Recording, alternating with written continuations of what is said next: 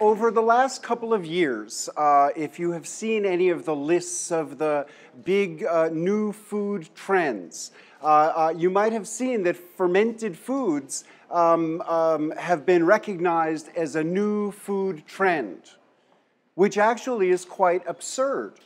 Um, because for longer than any of us have been alive, almost everybody in almost every part of the world eats and drinks products of fermentation every single day. The, the products of fermentation have enjoyed enduring popularity um, um, and have never gone out of fashion. You know, we could talk about coffee, we could talk about bread, we could talk about cheese. We could talk about beer. We could talk about wine. Um, you know, many of the greatest delicacies that people around the world enjoy are products of fermentation that have never gone out of style and have not re- recently just come into style. Uh, uh, what has changed is that there is a growing awareness of the uh, phenomenon of fermentation and a growing uh, uh, interest in it. Um, fermentation is practiced everywhere.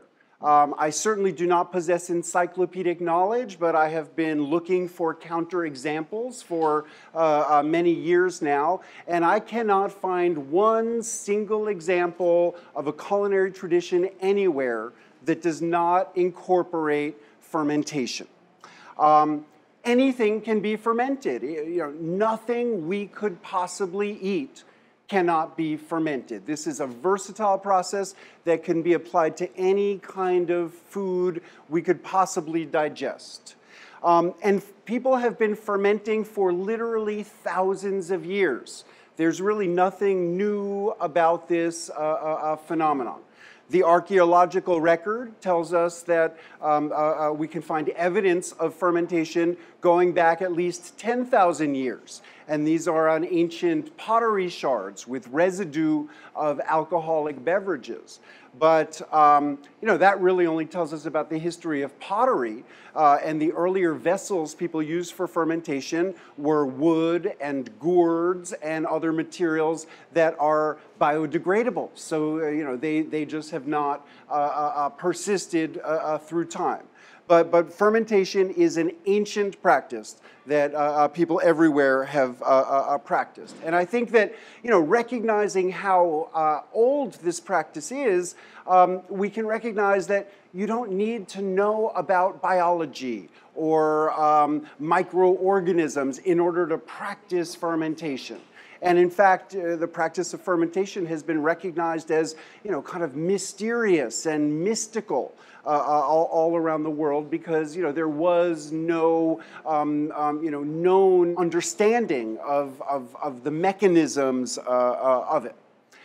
During the age of microbiology, because most of the information that we've heard about uh, bacteria and microorganisms leads us to be afraid of them, um, you know, it's about the, the, the danger of disease. Um, you know, we've developed a widespread cultural fear of bacteria, and along with that, a fear of fermentation. And so, you know, the work that I've been engaged in is public education about fermentation, demystifying this process for people um, and helping them understand you know, how simple this process is and uh, what an effective strategy for food safety it is. Uh, microbiology certainly has illuminated the process of fermentation. So, beginning with the work of Louis Pasteur about 150 years ago, um, you know, he began to recognize the existence of bacteria and yeasts and other microorganisms, um, you know, and observe uh, uh, um, you know, their, their activities. And um, for the first time, from the you know, scientific analysis, we began to understand that fermentation is the transformative action of microorganisms. And one of the things that microbiology illuminated about this ancient uh, uh, practice is that everything we eat, all of the plants and all of the animal products that make up our food are populated by elaborate communities of microorganisms.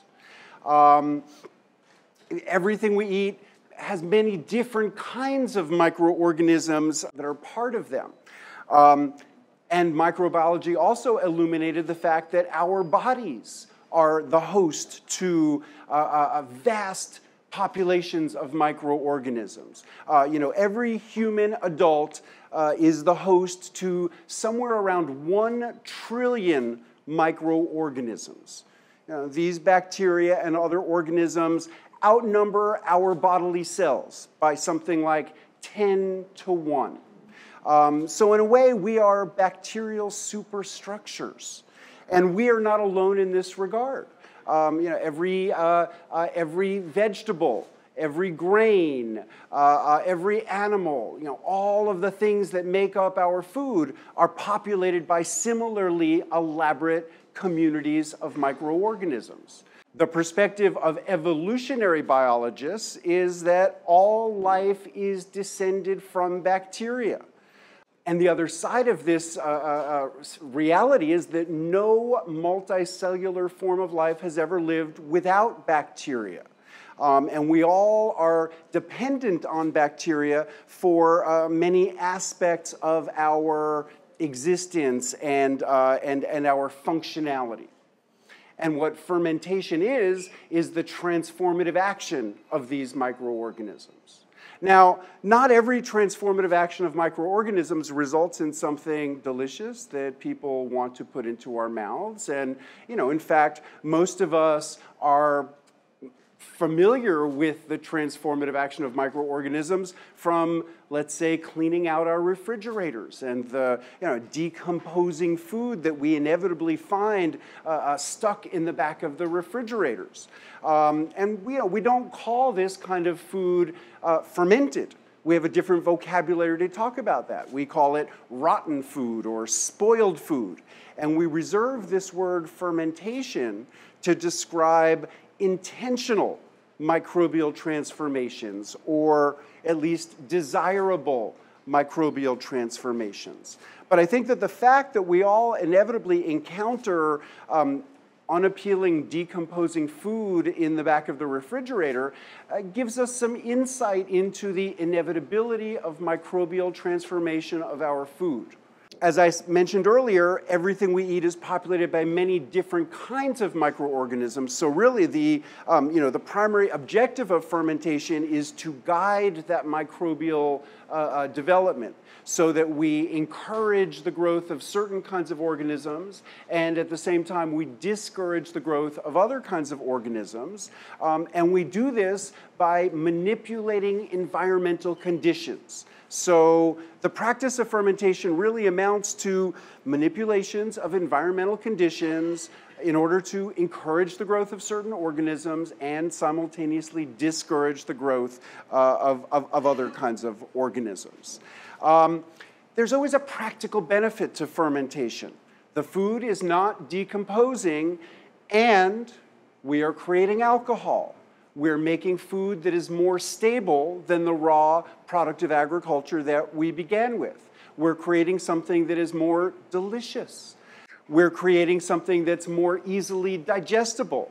We're creating something where some toxic compound in the food is broken down and the otherwise dangerous food is made safe.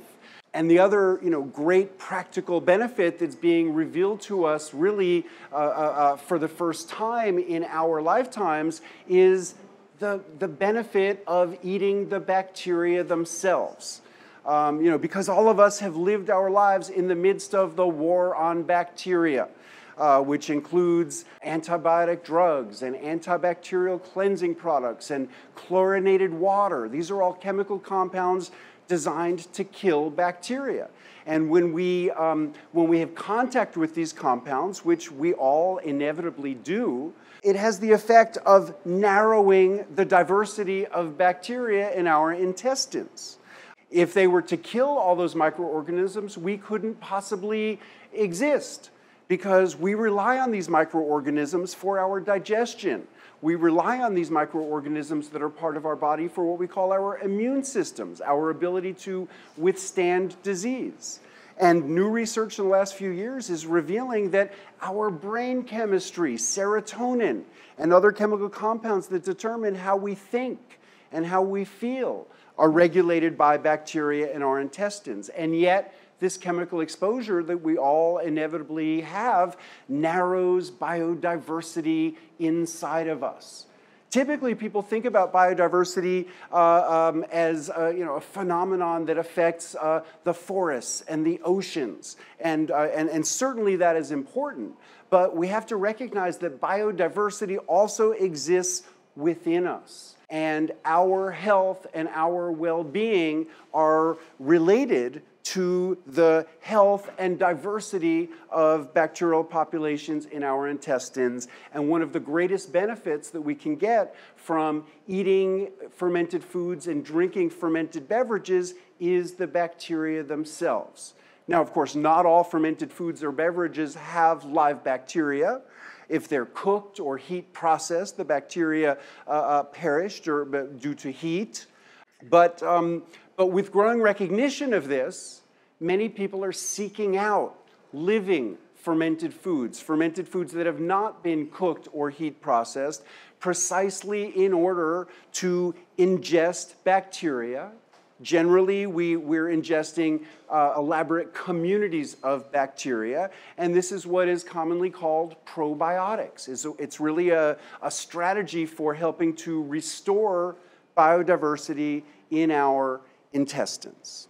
Fermentation is also used uh, in a metaphorical sense, and I just want to talk for a moment about the word fermentation.